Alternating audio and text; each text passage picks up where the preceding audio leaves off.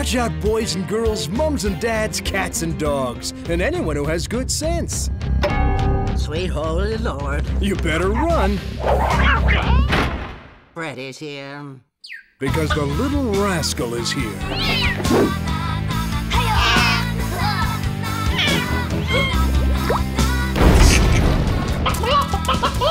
What's his problem?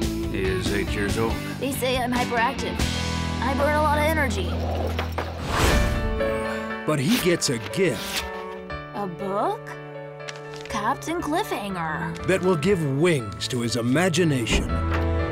Every day, Captain Cliffhanger goes to a different place. I want to rescue him. Rescue who? Oh, Captain Cliffhanger! I need a red airplane!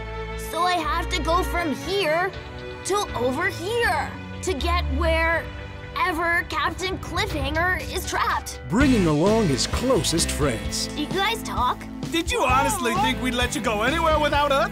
And they'll embark on the wildest adventures. Attention crew, attention.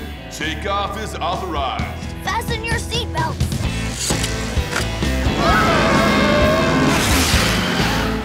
Trips brimming with new discoveries. You are not welcome. Lots of dangers. And so much fun everywhere you look.